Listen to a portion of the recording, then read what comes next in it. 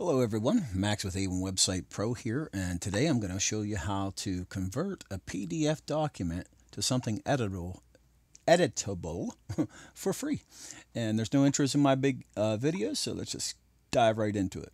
So if you double click on uh, uh, Adobe, you know, an Adobe PDF file, and you come in here and you want to edit something, you know, if you wanted to do that, I'm trying to hit backspace, put in text there. Now the cursor blinks, but I can't edit it. I can't edit uh, anything. Uh, and it's prompted me for a seven day free trial.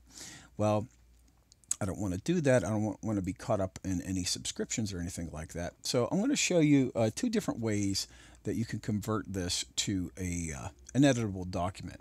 The number one way to convert this PDF to an editable document is if you download the LibreOffice suite, and there's a program in there called Draw. And let me fire this up for you. And this is what it looks like. And we'll go to File, Open, and we'll come down here to our PDF test file that I have. And we'll just click Open. And you see how it brings it in there, and you know everything's formatted just right. And, and here I could go, I could edit the text and I can add text or take out the image or uh, enlarge the image. I could do whatever I need to do. And then I could also hit this little uh, export directly as PDF button and save my PDF. Okay?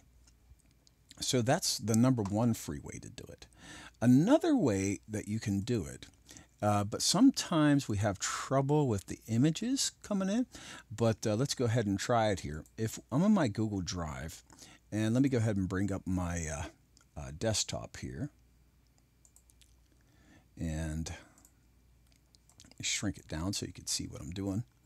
I'm going to take this PDF, I'm going to upload it to my Google Drive, and there we have it uploaded. Next, I'll double click on the file. And then right here um, where it says open with Google Docs, that's what I'm going to do. I'm going to open with do, uh, Google Docs. You can also uh, download these third third party apps, but we're just going to open with the uh, default Google Doc. Let it open up in there. And you can see I lost a little bit of the formatting in the Google Doc, whereas I didn't in the LibreOffice. But if I go to File, I can download. I can download as a Microsoft Word, open document format. Uh, so let me go ahead and download it as Microsoft Word so you can see what happens. Click Save. And then let me open it up here as soon as it's done downloading. Now here you can see that, you know, uh, I got the text but where's my picture? Oh, there's my picture down there. So it kind of loses the formatting a little bit, but I guess you could get in here and do whatever you want to with it, you know, move, move the pictures around uh, where they need to be.